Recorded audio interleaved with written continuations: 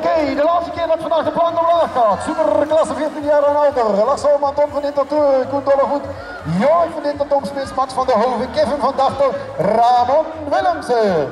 Wie is bij deze categorie 14 jaar plus? Wie is daar de sterkste?